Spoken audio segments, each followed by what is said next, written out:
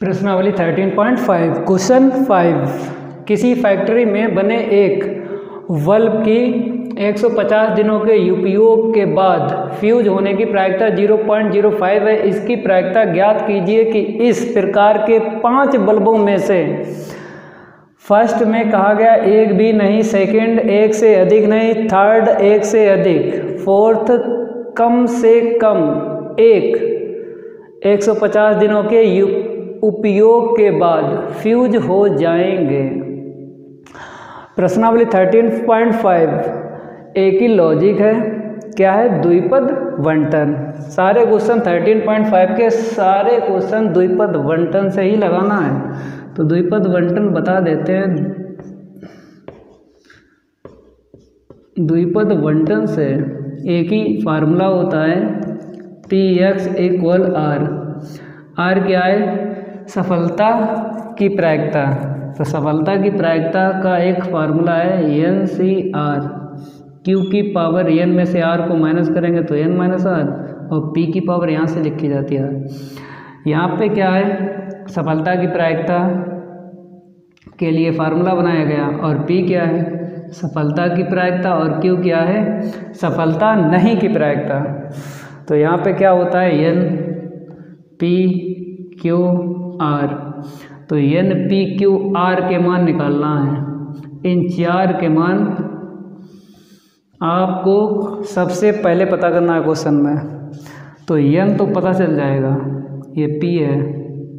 तो एन कहाँ से पता चलेगा? देखो क्वेश्चन पढ़ रहे हैं तो एन पता लग जाएगा। किसी फैक्ट्री में बने एक बल्ब की। फैक्ट्री में एक बल्ब बनाए जो 150 दिनों के उपयोग के बाद फ्यूज हो जाता है। फैक्ट्री में एक बल्ब बनाए 150 दिनों के बाद फ्यूज हो जाता है। तो उसकी प्रायिकता कितनी है? 0.05 इसकी प्रायिकता ज्ञात कीजिए कि इस प्रकार पाँच बल्बों में से तो यहाँ पे टोटल कितने बल्ब दिए हैं? पाँच। तो पाँच बल्बों में से यन का मान हमें मिल जाएगा चाहे यहाँ देख लो चाहे यहाँ एन का मान हमें क्या मिल जाएगा? पाँच। सबसे पहले हम एन लिखेंगे। एन इक्वल फाइव अब इसके बाद पी हमने क्या बताया था? पी जो है एक के लिए। एक के लिए। तो एक के लिए हमको दे दे दिया गया है फ्यूज होने की प्रायिकता। एक बल्ब की, एक बल्ब की फ्यूज होने की प्रायिकता कितनी है? ज़ीरो पॉइंट ज़ीरो फाइव तो सफलता के लिए।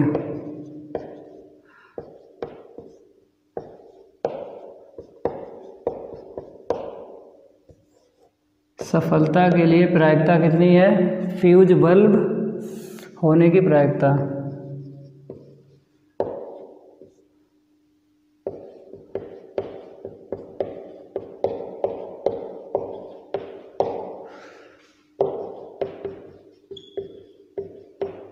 कितनी दे रखी है? Zero point zero five. अब क्यू? अब क्यू निकालना है? पी तो पता चल गया। अब क्यू निकालना है? क्यू के लिए एक फार्मूला है? P plus Q equal one तो यहाँ से क्यू का मान निकलेगा वन माइनस पी तो ज़ीरो वन में से पी का मान कितना है? Zero point zero five. तो सॉल्व करेंगे कितना आएगा? ज़ीरो पॉइंट नाइन फाइव तो क्यू का मान इतना ही निकला है। चाहो तो माइनस करो, दस में से पाँच गया, पाँच, फिर नौ ज़ीरो तो नौ, ठीक है। अब इसके बाद हमको क्या बताया है? नंबर फ़र्स्ट एक भी नहीं। सफलता एक भी नहीं है। किसके लिए? फ्यूज बल्ब फ्यूज बल्ब के लिए एक भी सफलता नहीं है। जब भी क्वेश्चन में नहीं आ जाए तो आर का मान क्या लेते हैं? ज़ीरो। एक भी सफलता नहीं है। तो number first, R equal zero. द्विपद वंटन से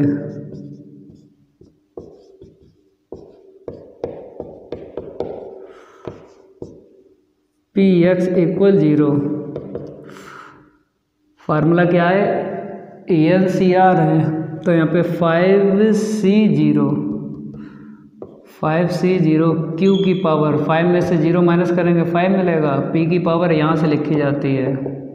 फाइव सी ज़ीरो का मान कितना होता है? One. Q zero point nine five की होल पावर फाइव पी की पावर ज़ीरो का मान वन तो ज़ीरो पॉइंट नाइन फाइव की होल पावर फाइव तो इसको सॉल्व नहीं करेंगे, क्योंकि जो आधार है नाइन पॉइंट नाइन फाइव है। बहुत ज़्यादा है, इसलिए सॉल्व ना करो। तो आंसर सीट पावर में ही छोड़ना है। अब सेकंड में क्या बोला है? सेकंड ये तो हो चुका है सेकंड एक से अधिक नहीं। यहाँ पे सफलता कितनी मिली है? फ्यूज बल्ब की सफलता, एक से अधिक नहीं। इसका मतलब है सफलता ज़ीरो या वन पे हमें मिल जाएगी, क्योंकि मना किया है, एक से अधिक नहीं, एक से अधिक नहीं फ्यूज बल्ब की प्रायिकता मिलेगी, एक से अधिक नहीं फ्यूज की सफलता मिलेगी, लेकिन ज़ीरो या वन पे हमें सफलता मिल जाएगी किसके लिए? फ्यूज बल्ब की। तो सेकंड यहाँ पे आर का मान है, एक से अधिक नहीं। तो इसका मतलब है वन या वन से कम। द्विपद वंटन से P X less than one P X equal zero zero या वन पे ज़ीरो या वन पे हमको क्या मिल जाएगी? सफलता मिल जाएगी। किसकी मिल जाएगी सफलता? फ्यूज बल्ब की। या है तो यहाँ पे प्लस लगाओ। दो, दोनों नहीं, एक साथ घटना घटित होंगी। ज़ीरो और वन पे, किसी एक पे होगा। या तो ज़ीरो पे सफलता मिलेगी फ्यूज बल्ब की, या वन पे सफलता मिलेगी फ्यूज बल्ब की। इसका मान और इसका मान निकाल लेते हैं। तो यन यन है फाइव और यहाँ पे ज़ीरो है। Five C zero. तो फाइव सी ज़ीरो क्यू की पावर इसका मान निकाली चुके कितना है? Point nine five.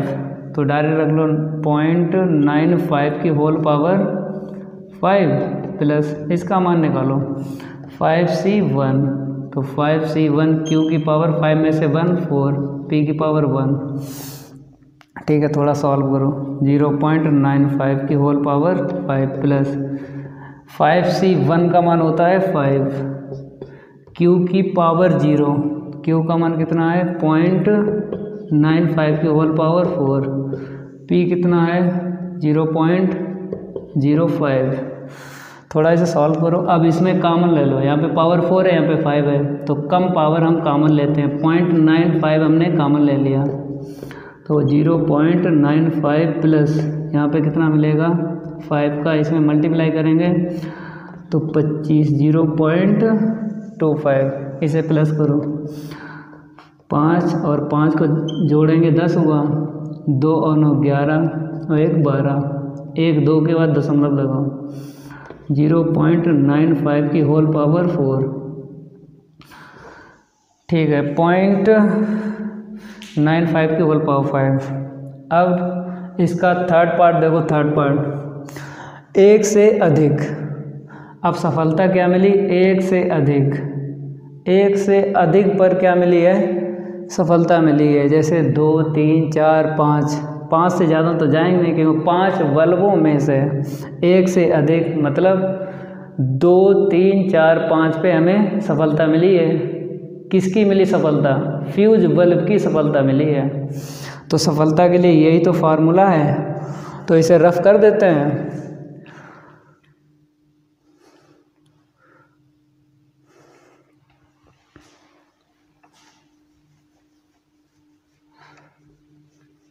Third part एक से अधिक. आर ग्रेटर देन वन द्विपद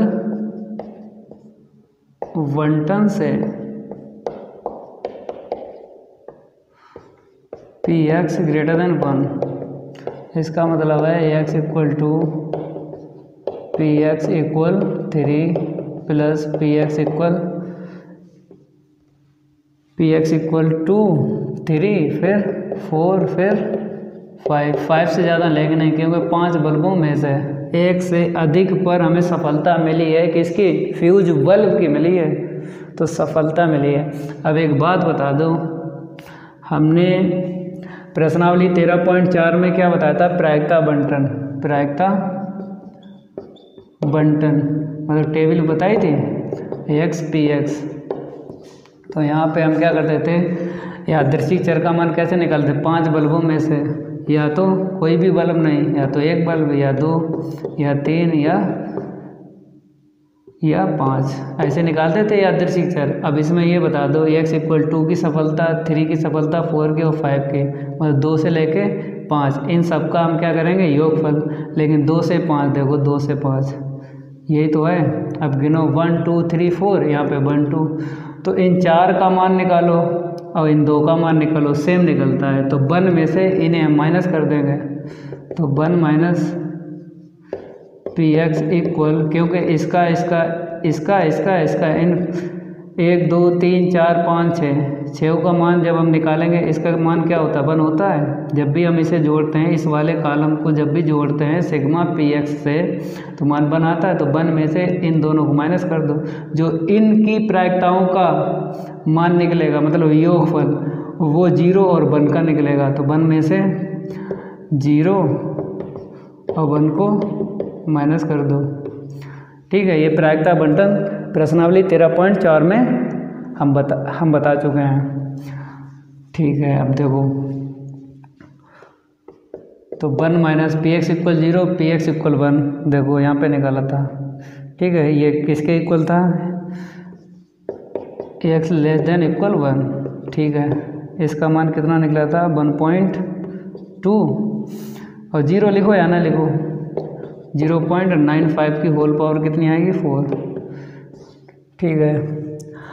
अब यहाँ पे देखो, ये थर्ड भी हो गया फ़र्स्ट भी हो गया सेकंड और फोर्थ देखो, ये फोर्थ कम से कम एक, कम से कम एक। इसका मतलब है, कम से कम एक का मतलब है, एक या एक से ज़्यादा। हमें सफलता मिल जाएगी। किसकी मिल जाएगी सफलता? किसके लिए? फ्यूज बल्ब होने के लिए सफलता मिल जाएगी। कम से कम एक।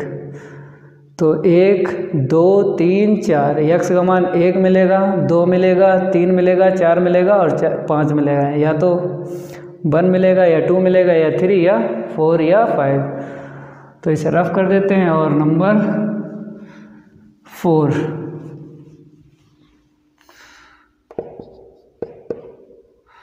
आर।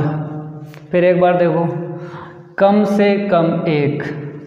ये तो वही लिखा है 150 दिनों के उपयोग के बाद फ्यूज हो जाएँगे। यहाँ पर भी लिखा है, यहाँ पर भी लिखा केवल इतना देखो, कम से कम एक, कम से कम एक तो R greater than equal one एक या एक से ज़्यादा हमें सफलता मिल जाएगी, फ्यूज बल्ब की, फ्यूज बल्ब की हमें मिल जाएगी तो द्विपद वंटन से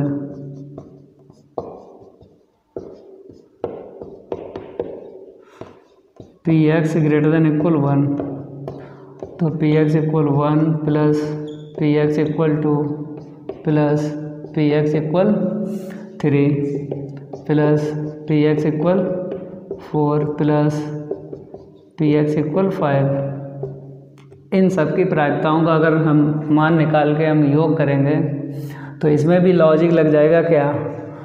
प्रायिकता बंटन। तो इसे रफ कर देते हैं, बता रहे हैं। प्रायिकता बंटन। प्रश्नावली तेरह पॉइंट चार में बताया था यादृशी चर कैसे निकालते हो? फिर एक बार देख लो।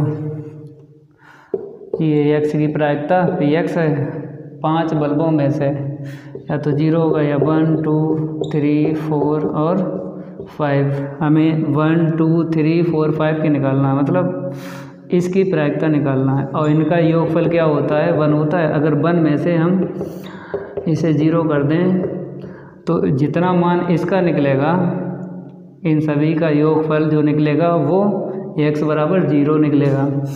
तो ऐसे सॉल्व करेंगे तो टाइम लगेगा। आपको ऐसे सॉल्व कर लेना है। तो one minus P X equal zero इसे रफ कर देते हैं। अब यहाँ पे देखो one minus P X equal zero का मान हमने निकाला था किसमें? इसमें निकाला था। कितना निकला था? ज़ीरो पॉइंट नाइन फाइव निकला था। होल पावर फाइव थी। ठीक है, इतनी था। तो कभी कभी क्या होता है क्वेश्चन मिल जाए तो आंसर शीट हम पावर में ही छोड़ रहे हैं। ठीक है, आप लोग नोट करो इसे।